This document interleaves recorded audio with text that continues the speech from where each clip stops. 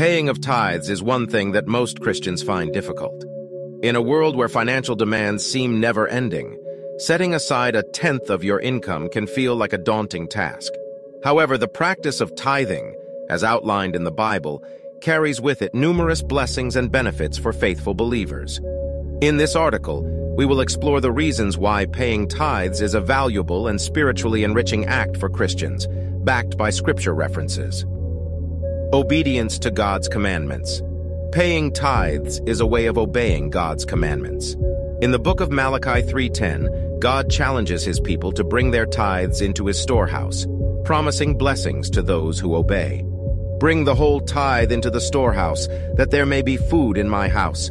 Test me in this, says the Lord Almighty, and see if I will not throw open the floodgates of heaven and pour out so much blessing that there will not be room enough to store it. By tithing, Christians demonstrate their faithfulness and commitment to God's Word. Provision and prosperity. When we pay our tithes, we acknowledge that God is the ultimate provider of all our resources. In Proverbs 3, 9, 10, we are encouraged to honor the Lord with our wealth.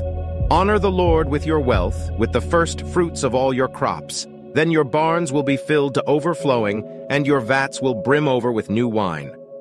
Tithing reflects our trust in God to meet our needs and prosper us, both spiritually and materially. Protection against devourers. In Malachi 3.11, following the verse on tithing, God promises to rebuke the devourer for our sake. I will prevent pests from devouring your crops, and the vines in your fields will not drop their fruit before it is ripe, says the Lord Almighty.